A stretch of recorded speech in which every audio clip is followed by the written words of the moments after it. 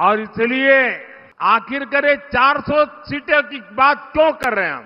ये 400 सीटें क्यों? विकसित भारत के लिए 400 पार। विकसित भारत के लिए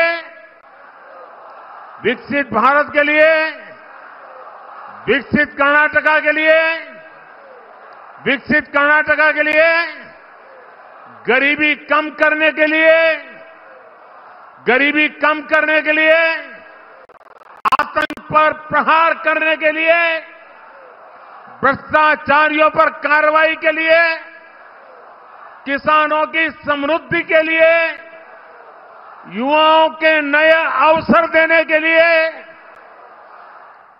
ई बारी नानुरु मिरी। ई बारी ई बारी ई बारी।